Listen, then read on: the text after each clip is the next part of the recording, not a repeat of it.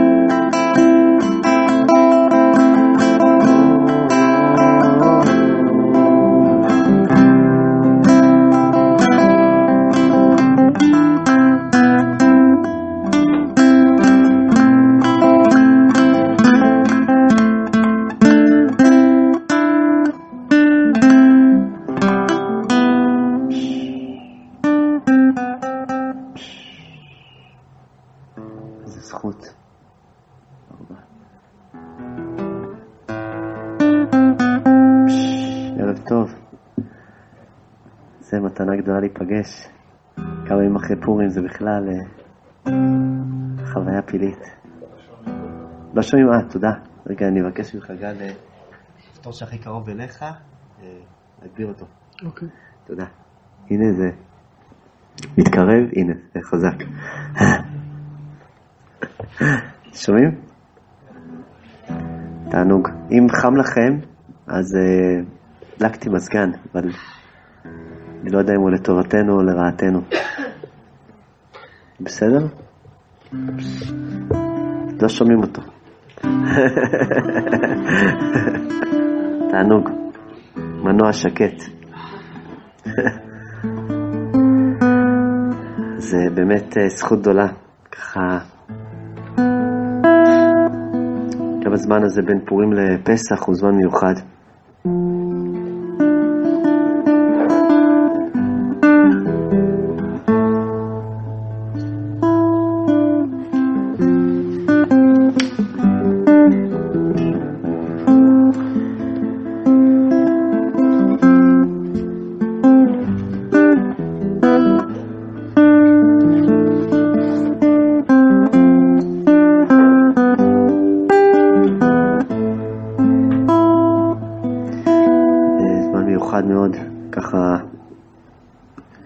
נקדיש גם את הלימוד לעילוי נשמת סוניה בת גרשון, דפנה בת איתן, נוח בן אברהם, אה, הלל בן רבנו יום טוב, ושרה בת רעיה ואליהו בן סוליקה, ויפה בת ציפורה. ואסתר? סרג' רפאל בן ניסים. ולרפואה לרפואה שלמה של עידן בן עמולה יפה ונטע בת ענת והרצל חי בן סעידה ורחל בת זהבה. יאיר בן רעות. כל מי שצריך רפואה. איך? שלמה בן רות, רפואה שלמה. סמה? סמה לרפואה שלמה.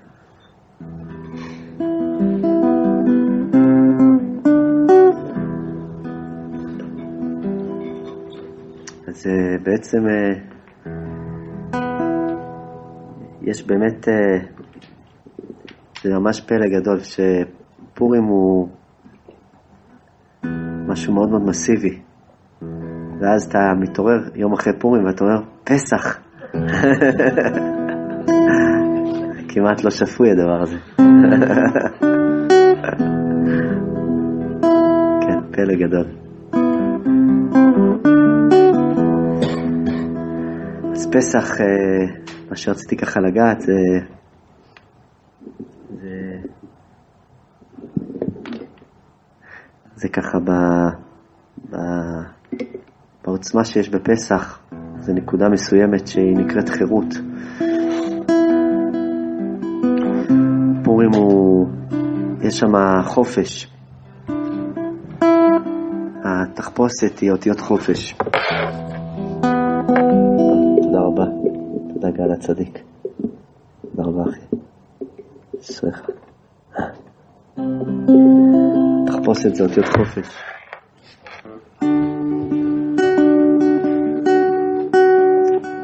היכולת שלנו לחפש זה גם כן חופש. חיפוש זה גם אותיות חופש. פלא גדול. בן אדם שמרשה לעצמו לחפש, הוא נוגע בנק, בנקודה החופשית שלו, בריאות.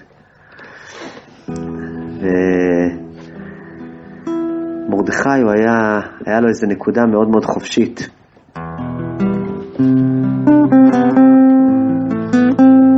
ופסח הוא נקרא חג חירות. להיות בחירות זה בעצם לקחת את זה לעוד עוד צעד אחד קדימה. אם יש לי את המקום הזה שאני יכול פתאום לראות מה יכול לצאת ממני, איזה נקודה של רצון, זה דבר מדהים, מדהים, מדהים, מדהים, מדהים. זה פורים. אז פסח זה הרצון שלי לחיות את זה.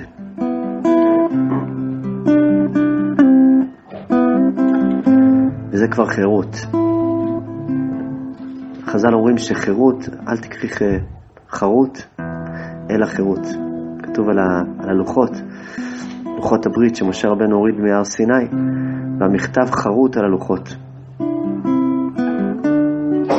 אל תקרי חרות, אלא חירות.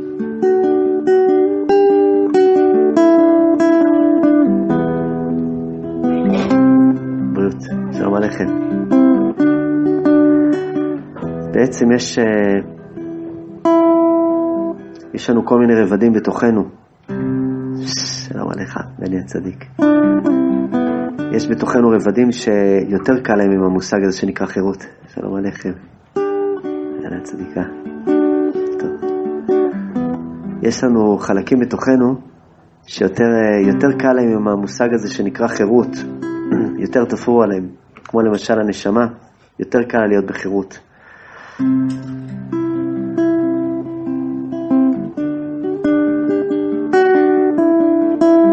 יש חלקים שזה יותר מורכב להם. יש חלקים שזה כמעט בלתי אפשרי. והתפילה שלנו זה להביא את החירות עד המקומות שזה כמעט בלתי אפשרי. זו התפילה שלנו.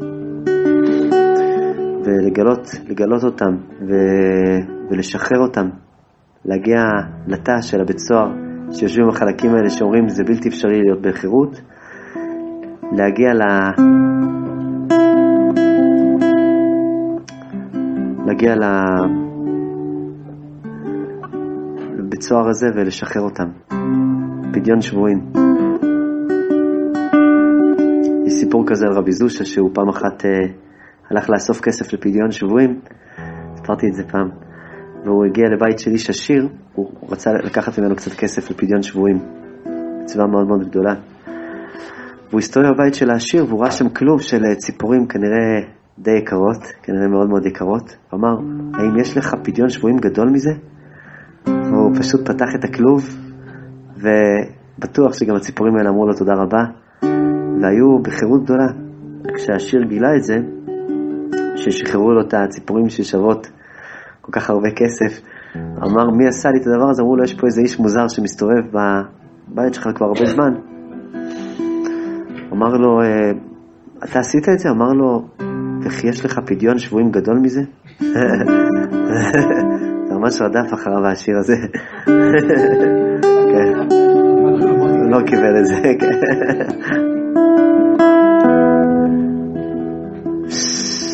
איזה זכות.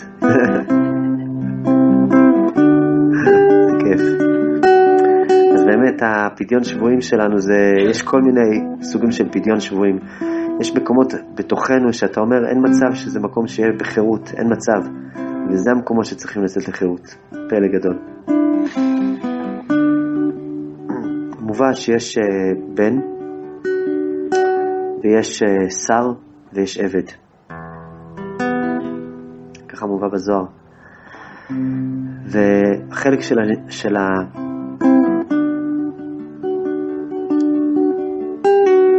של הנשמה הוא נקרא, הוא נקרא בן. והוא לא רק נקרא בן, הוא נקרא בן חורין. פלא גדול. כי הוא הבן של הגילוי העמוק הזה שנקרא חירות, של עולם החירות. מחובר למקום הזה שנקרא חירות. והנשמה שלנו היא מחוברת למקום הזה שנקרא חירות, ופעם בכמה זמן יוצא לנו לקבל איזה גילוי נשמה כזה. פתאום אנחנו נושמים לרווחה ומרגישים שאנחנו יכולים לעוף. פשוט אנחנו לא רוצים לעשות את זה טכנית, אבל אנחנו מרגישים עפים. מרגישים בחירות.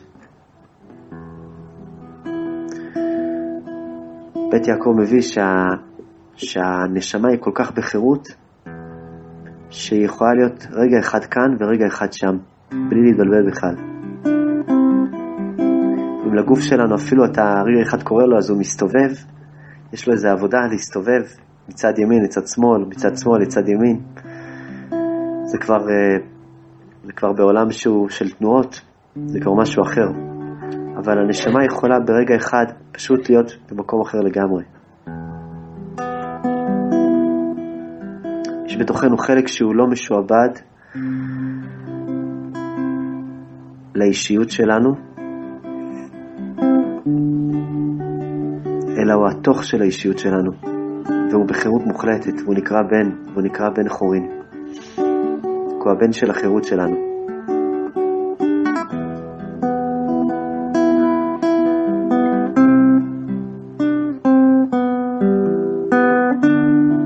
יש לפעמים שבן אדם מרגיש שיש מושגים כבדים שאני באמת לא מבין בהם, כמו הפרעת אישיות, אבל יש לפעמים מושגים שאני יותר מבין בהם, כמו שהאישיות מפריעה. יש מציאות שאתה מרגיש, אתה אומר, פשש, בואנה, העניין הזה, האישיות שלי ממש מפריעה לי.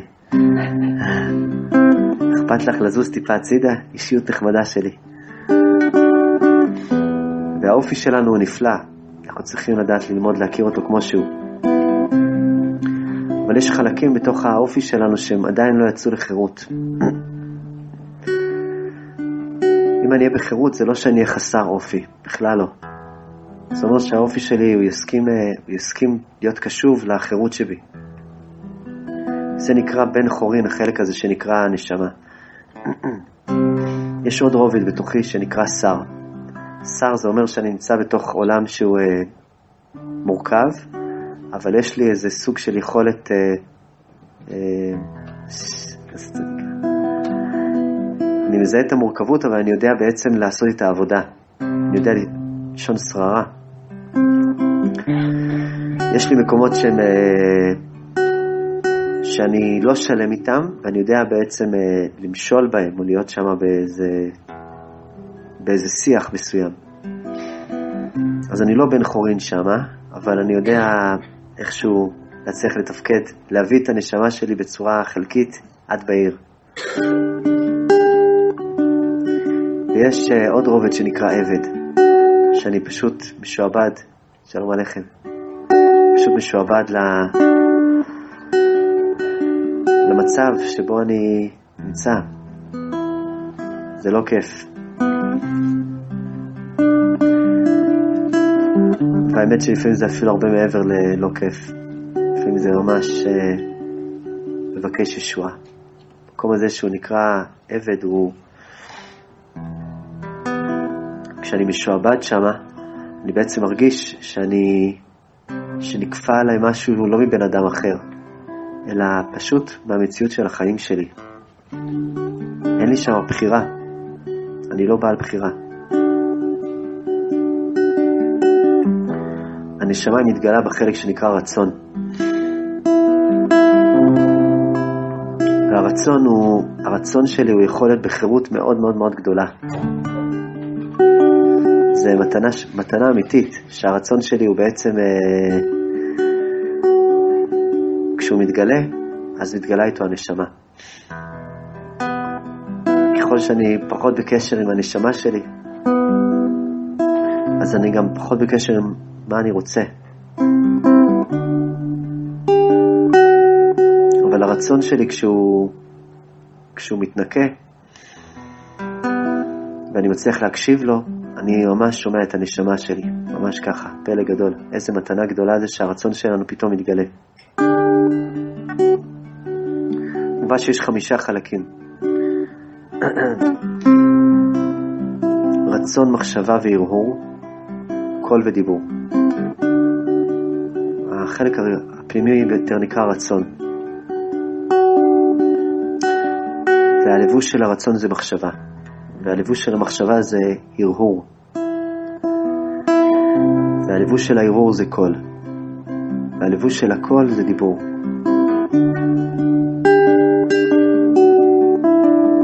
הרצון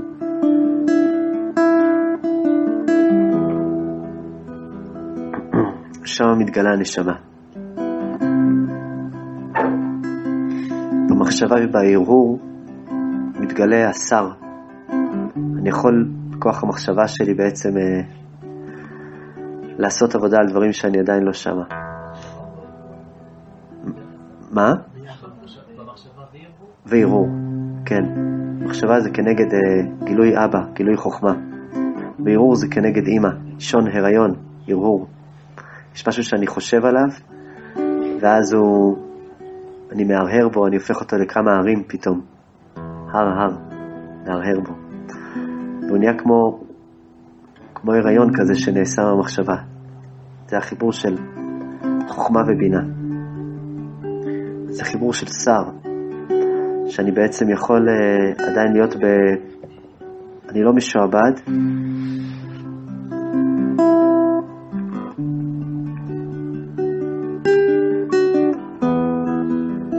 ואני כבר לא ברובד הרצון, ברובד הנשמה החירותית.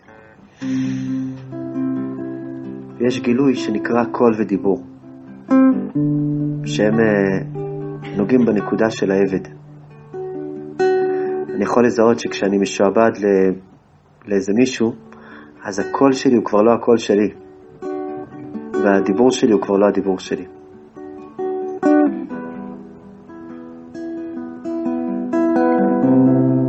ככל שאני נמצא עם בן אדם שיותר נוח לי להיות אני לידו,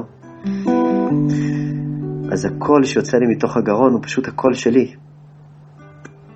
ככל שהבן אדם שנמצא לידי דורש ממני להיות משהו שאני לא, או גם אם הוא לא דורש, אני מרגיש שהוא דורש. הוא מכחיש כל רגע. לא דרשתי, כן דרשת, לא דרשתי, דרשת.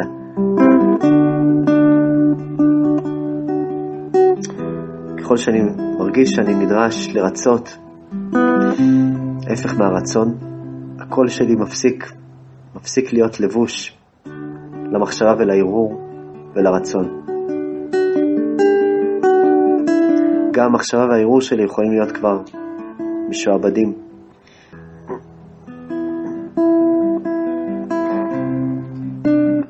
ויכולים גם להיוולד מהם רצונות קטנים. שלום עליכם. הקול והדיבור הם קשורים לעבד. ברגע שבעצם אה, משתעבד בתוכי משהו מסוים והוא מתגלה כבר ברמת הדיבור, אני כבר מדבר את זה, אני כבר משועבד לזה. אני כבר משועבד לזה.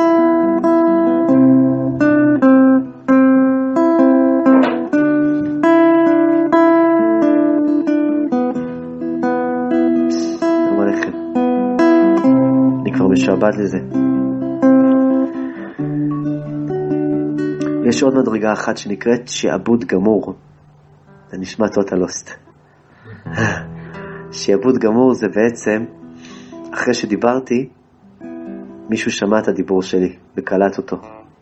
ואז כבר זהו, נתפס. זאת אומרת, לא רק שיש לי את הדיבור שמשועבד, כבר מישהו רגיל שאני מדבר ככה. כבר ננעלתי. אז גם אם אני ארצה לצאת מהשעבוד הזה, הנה, יש לך מקום, רותם. מה? שיעבוד לך. שעבוד לך, בדיוק, אשריך גל, חידושי גל שלום. שעבוד לך לגמרי. דיברתי את הדיבור שלי ומישהו שמע אותו, צילם אותו, הקליט אותו, פה זה גם ממש. זה אני הקלטתי.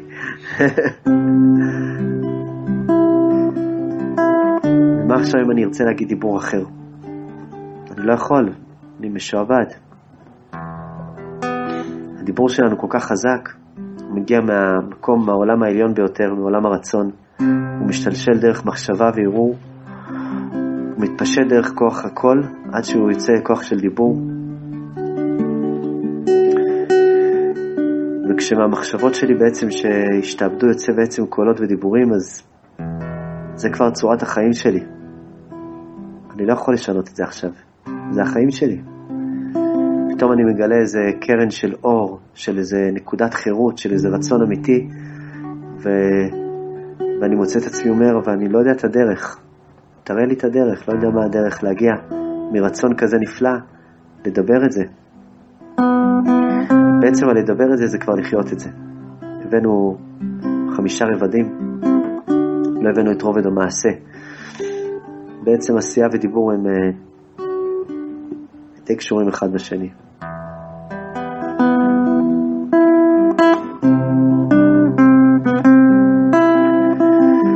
חג החירות הוא נקרא גם פסח, לשון פסח ככה מובא, שהפה מדבר, פסח.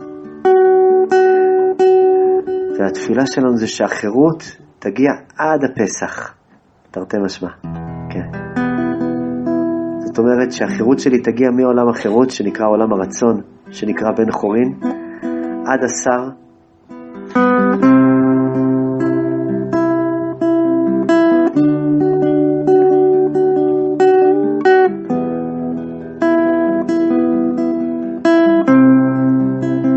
ותמשיך עד המקום של, ה... של הפה. כשהפה שלי מסכים להתחיל לדבר דיבורים של חירות, אז משהו שם אמיתי, משהו אמיתי נרפא. חירות זה בעצם שהפה שלי מדבר, ויש קשר בין הקול והדיבור. והקול הזה הוא מחובר לערעור שלי ולמחשבות שלי ולרצונות הכמוסים ביותר שיש בתוכי. אני מזהה כל מיני הפסקות שנמצאים בין הרצון והמחשבה והערעור והקול והדיבור. הפסקות של אה, ענווה פסולה, של ביטחון עצמי, של דימוי עצמי לא, לא מוערך, של פחד, מוות, חוסר קבלה. ומה יגידו כל אלה שדיברתי איתם כל מיני דיבורים עד עכשיו, מכל האוזניים ששמעו את הדיבורים שלי.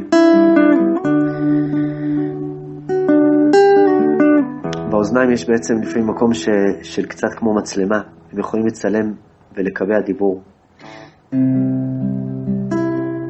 וככל שהן יותר מקבעות את הדיבור,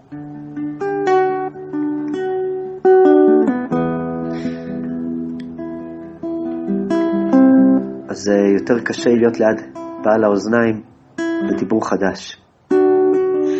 אני מזהה בעצם שיצאתי לחירות לבד ביני לבין עצמי, ואחרי זה יצאתי לחירות מול הבן אדם הזה, ומול הבן אדם הזה, מול הבן אדם הזה, מול ההורים שלי, מול הילדים שלי,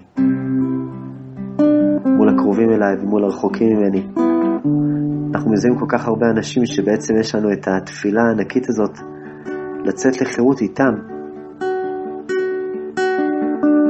אני כל כך אוהב אותך, שאני מוכן להפסיק להיות משועבד אליך. משועבד לאיך שציפית שאני אדבר.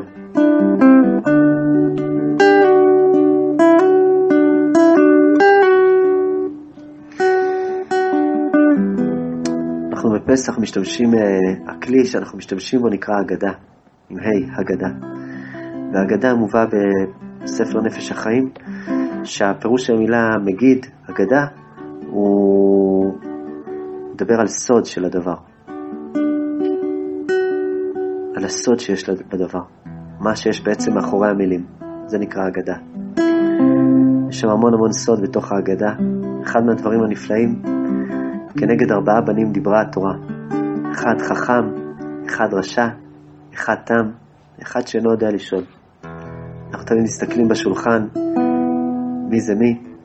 לכן מומלץ לעשות את זה עם uh, עוד ארבעה אנשים, את הסדר, כדי שאתה תוכל להיות זה שנמצא מחוץ לעניינים, ותוכל להדביק על כל אחד קטגוריה אחרת, תגיד, אה, ah, הנה הוא התם, זה הרשע, זה החכם. ואני זה שיכול להגיד לכל אחד מה לעשות. זה נפלא. הבעיה מתחילה כשאנחנו עושים את הסדר לבד. כשאנחנו עושים את הסדר לבד, אז בעצם זה יוצא שאנחנו, אני החכם, ואני הרשע, ואני התם, ואני זה שאינו יודע לשאול. ואז הדברים להיות מורכבים. איזה תענוג זה למצוא את החסרונות בבן אדם אחר. איזה מבוי סתום זה כשאתה מוצא את החסרונות בעצמך.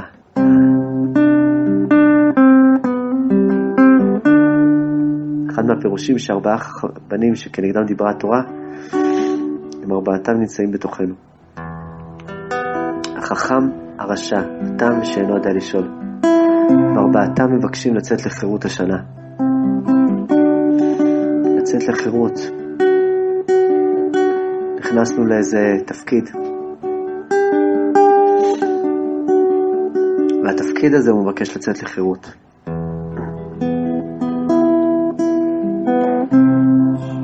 ההגדה מגלה לנו ש... לכל אחד מהבנים יש מקום. למעשה מספרים שיש עוד בן אחד חמישי שהוא לא הגיע לסדר. אולי שנה הבאה.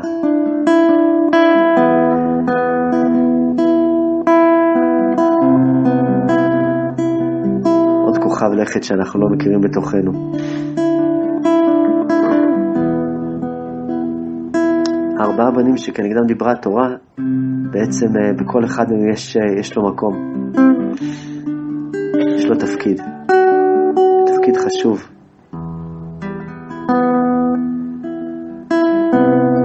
אחד מהם נמצא בתוכי, וכל אחד צריך למצוא את המקום שלו הנכון בתוכי. כתוב, לפני שמובא על ארבעה בנים דיברה התורה, כתוב יש שם קוד שמובא בהגדה, הוא אומר, הוא הולך ככה, ברוך המקום, ברוך הוא. ברוך שנתן תורה לעמו ישראל, ברוך הוא. כנגד ארבעה בנים דיברה התורה.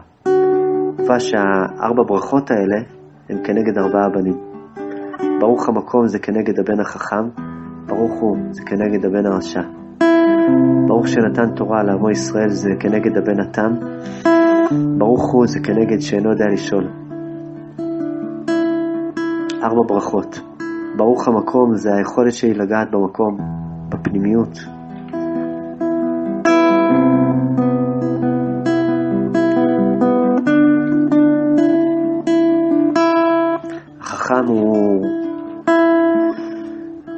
יש לו את הכוח לגעת בכוח. חוכמה זה אותיות כוח מה. אני נוגע בכוח שנמצא בתוכי. יש בכל אחד מאיתנו מתנה שנקראת כוח ומתנה שנקראת פועל. המתנה שנקראת כוח היא מתנה נפלאה, והמתנה שנקראת פועל היא מתנה נפלאה לא פחות. החכם הוא מבקש עוד ועוד להגדיל את החוכמה.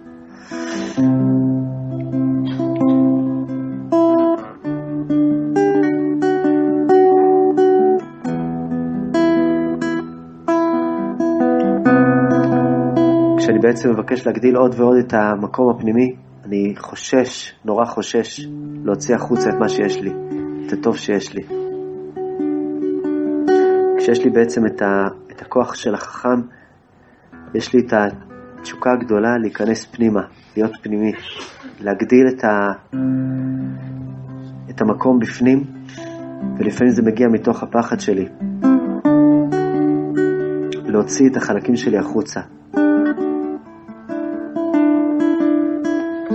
אני יודע שכשאני אוציא את החלקים שלי החוצה יכול לקרות הדבר הכי מדכדך שיש.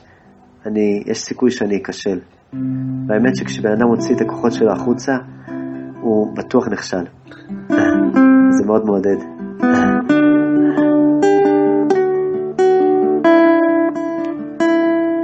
אבל השם ישמור אתכם, אסנת, צדיקים, מזל טוב, מזל טוב, מזל טוב. תראות נריה.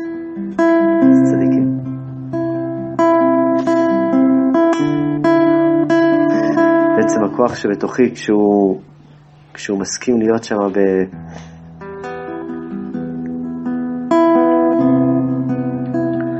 כשהוא מסכים, כשהוא מסכים להיכשל, הוא מסכים לצאת החוצה. עד שאני לא מסכים להיכשל, אני מפתח עוד ועוד ועוד ועוד בפנים כל כך הרבה שפע. משהו בתוכי אומר, אה, אני צריך עוד שפע בפנים. ומשהו בתוכי אחר אומר, די כבר, תצא, תוציא את הטוב הזה. אבל אם אני אוציא, אני אכשל. נכון, זה יהיה נפלא. על זה נאמר, ברוך המקום. תדע לך שלכל דבר יש מקום.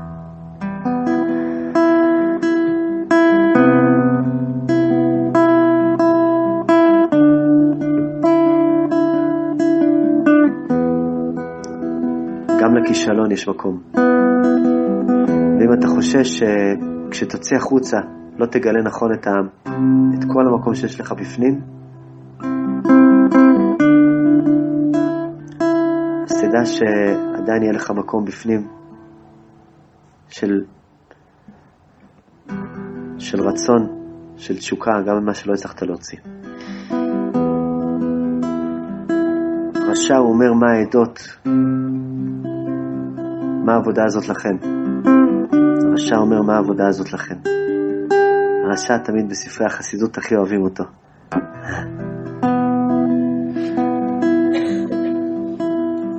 המתנה שהרשע מביא איתו היא נקראת מתנה יוצאת מן הכלל. הוא, יוצ... הוא יוצא מן הכלל. זה אחד מהדברים הכי נפלאים שבן אדם יודע להיות יוצא מן הכלל. כן, פלא גדול. להיות אאוטסיידר זה לא דבר שלילי. נראה לי תפקיד של הרבה אנשים שנמצאים פה. כולל עבדכם הנאמן. אבל כשאתה... כשאתה יוצא מן הכלל, כשאתה מזהה את הנקודה שהיא לפעמים נקודה מאוד מאוד מסוימת שיש בתוכך,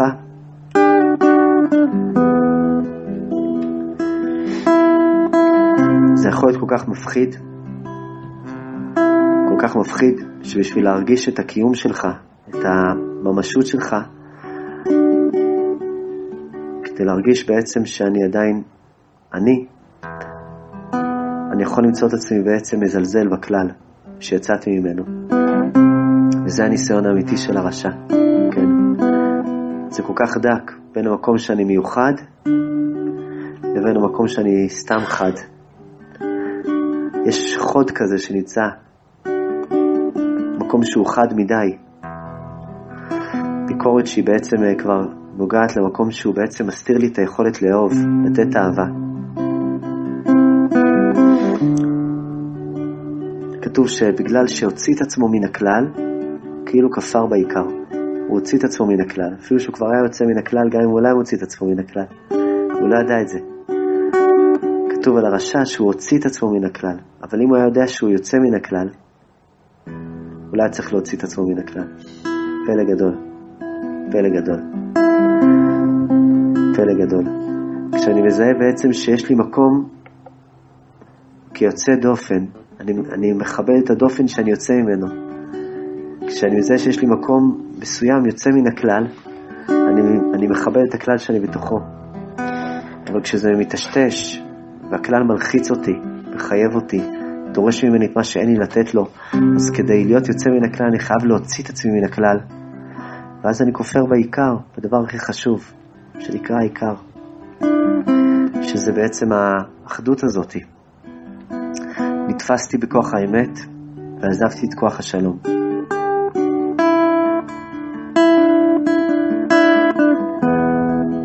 אז כתוב שם, אף אתה הכהה את שיניו של הרשע. הכהה את שיניו, כי השיניים שלו חדות. כשאני בעצם בתפקיד הרשע, אז השיניים שלי מאוד מאוד חדות. אני יודע להדיק, להגיד בדיוק את החיסרון. והמתנה שלי הכי גדולה זה שכוח השיניים שהוא בעצם, בעצם מעכל את הדברים, יהיה טיפה רך יותר.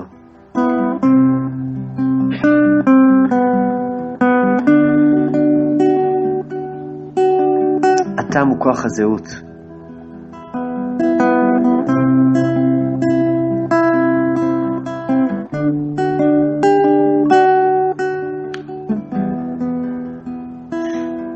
השעבוד של הטעם, כשהוא משתעבד, זה חוסר היכולת שלי להעריך את הדברים שאני לא קולט, שאני לא מצליח לזהות. כשאני בתפקיד הטעם, אז מאוד קל לי עם דברים ברורים. דברים שהם פשוטים, שהם מכוונים, שמתיישבים על השכל ועל הלב. אבל נורא נורא קשה לי עם הלא נתפס. קשה לי הלא מושג. אני אומר לתם, בחוזק יד הוציאנו השם מצרים. בחוזק יד זה בעצם אומר, חוזק היד זה בעצם המקום שהוא סתום, שהוא חזק, שהוא חזק ממני, שאני לא באמת מצליח לקלוט אותו. איך אני יוצא ממצרים? עם זה שאני יודע להעריך את הסתום. פלא גדול.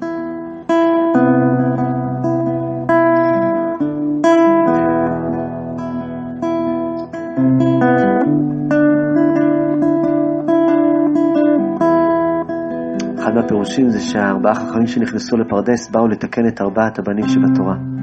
חכם, רשע, תם ושאינו יודע לשאול.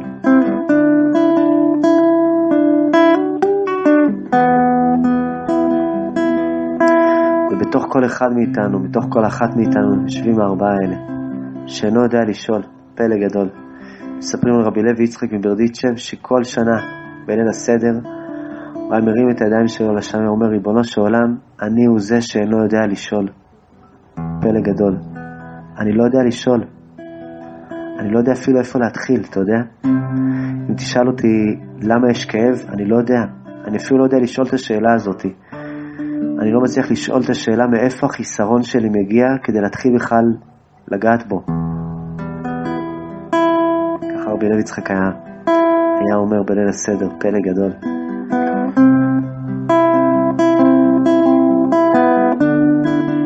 רק היית מגלה לי את הנתיב, את הקצה חוט של השאלה שאני צריך לשאול, אבל אני עסוק בשאלות הלא נכונות, ואני לא יודע לשאול טוב. וכתוב בהגדה שאינו יודע לשאול, את פתח לו. אז תפתח לי. תן לי פתח לגלות. אני לא רוצה לגלות למה אני עובר סבל, למה החברים שלי עוברים סבל, למה העם שלי עובר סבל, למה העולם שאני חי בו עובר סבל. זה לא השאלה שלי שאני רוצה לשאול. אני רוצה שתגלה לי את השאלה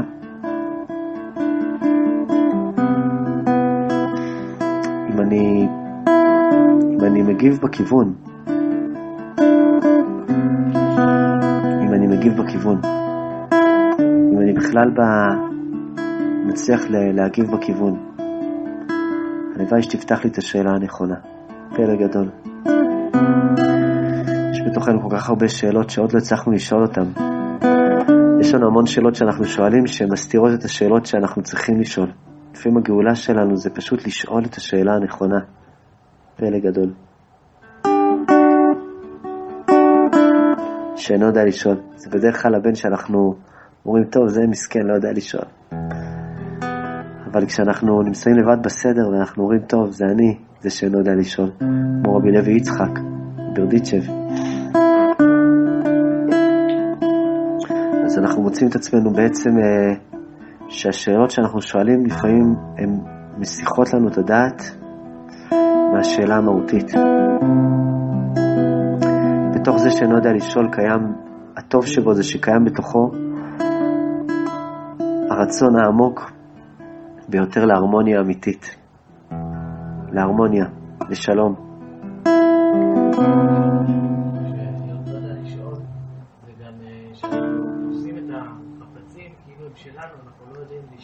לשאול. אותם, כסה, אשריך אחי, איזה צדיק אתה, יפה מאוד.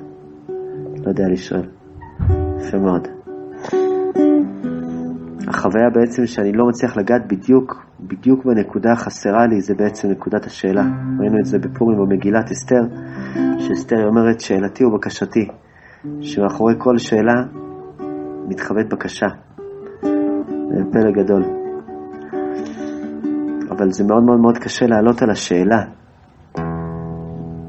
מה בדיוק השאלה שלי?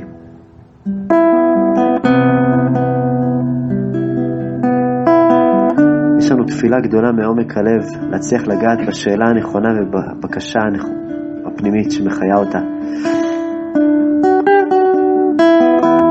ויש לנו את התפילה הגדולה להצליח להתחבר לארבעת הבנים שבהם כנגדם דיברה התורה, החכם שבתוכי, הרשע שבתוכי, התם ושאינו יודע לשאול, כדי להביא לכל ארבעת החלקים האלה גאולה מעבדות לחירות.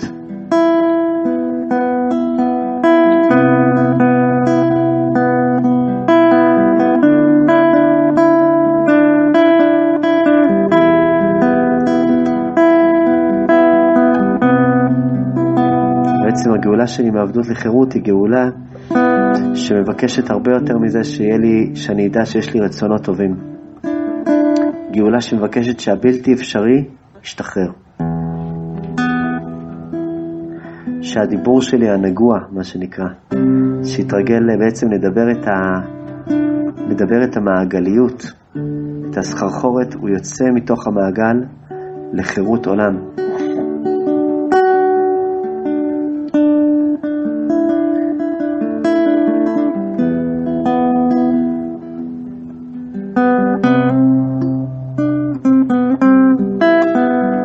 יש את הדיבור של כל ארבעת הבנים, והדיבור הזה הוא בעצם אה, דיבור חשוב, כי זה הדיבור שלנו. יש את כל התפקידים האלה, זה בעצם תפקידים שאנחנו מגלמים אותם במהלך החיים, ואנחנו קולטים שהדיבור הזה הוא... זה לא שהוא שקר, הוא היה אמיתי אתמול, אבל היום הוא שקר. היום הוא פשוט, פשוט לא אמת. וכשזה לא אמת, זה לא זה. זה לא בכאן ועכשיו. יש סיפור נפלא על היהודי הקדוש, סיפרה לי אותו אשתי היקרה.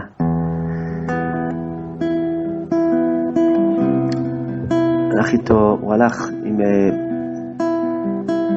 עם תלמיד שלו, לא זוכר את השם שלו. והתלמיד הזה, מה שהיה מיוחד אצלו זה שהיו לו אוזניים שהיו קשובות לעומק הנפש שלו. והם מטיילים ככה, הוא והתלמיד שלו, והם רואים אה, אווזים יוצאות מהאגם של המים.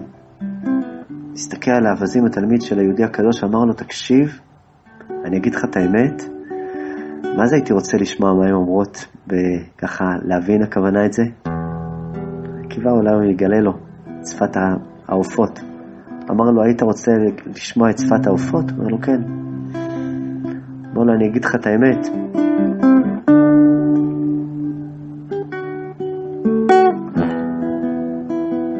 ביום שאתה תצליח להבין את הערך של המילים שיוצאות לך מהפה, תבין את השפה של כל היצורים.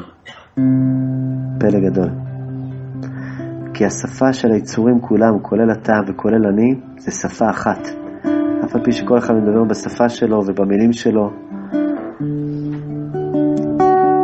אבל ברגע שתגיע לעומק של השפה שלך, תגיע לעומק של השפה של כולם. פלא גדול, שנזכה. מספרים עליו על היהודי הקדוש, שהיה לו תלמיד, שהתלמיד הזה, הוא היה מאוד מאוד צדיק, ויום אחד הוא דפק על השולחן שלוש פעמים, ואמר, זהו, מהיום די עם השטויות. אמרו לו החברים, מה הכוונה?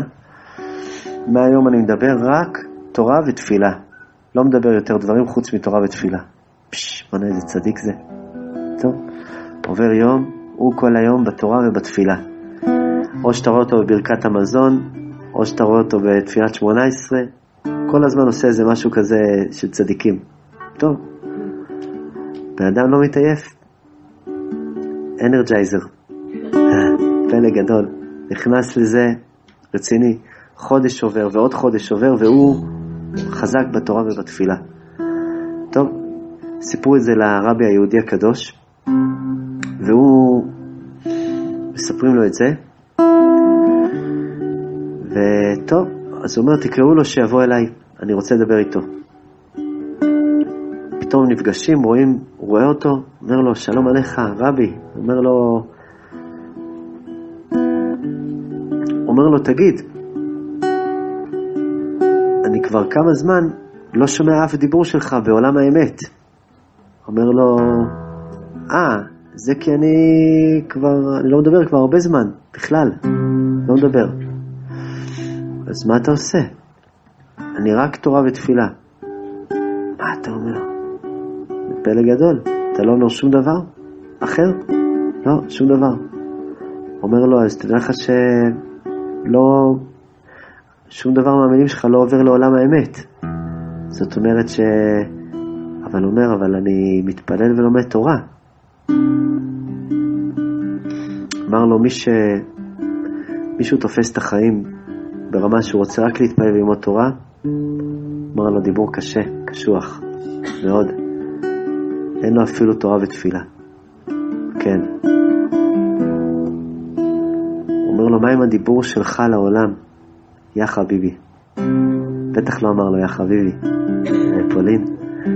הוא אמר לו, מה עם הדיבור שלך לעולם? מה עם המילים שלך? הוא אומר, השטויות האלה שאתה אמור להוציא, הן שטויות שמגיעות עד עולם האמת. והרצינות הזאת שאתה מוציא בתורה ובתפילה שלך, היא לא בוקעת את הרקיע הראשון אפילו. לא חבל?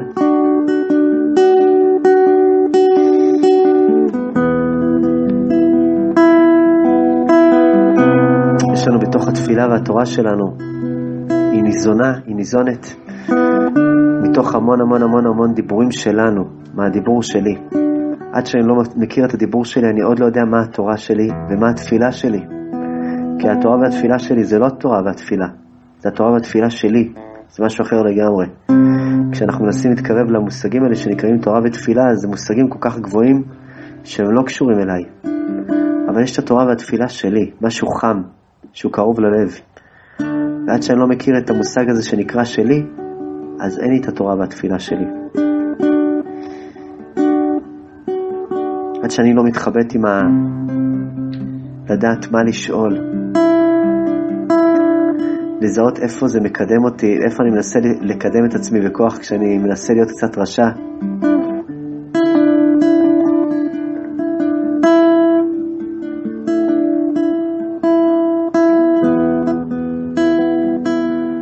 סיפר לי איזה ילד אחד, סיפור נפלא, שישב עם חבר שלו, והוא אמר לו, חבר שלו אמר לו, בואנה, השתנית. אמר לו, זה טוב או רע? אה. אומר לו, אתה נהיית קצת יותר רע, אבל זה הופך אותך ליותר טוב. סיפור נפלא. פעם היית כזה טוב, זה היה ממש רע. למדת להיות קצת רע וזה, זה היה יותר טוב.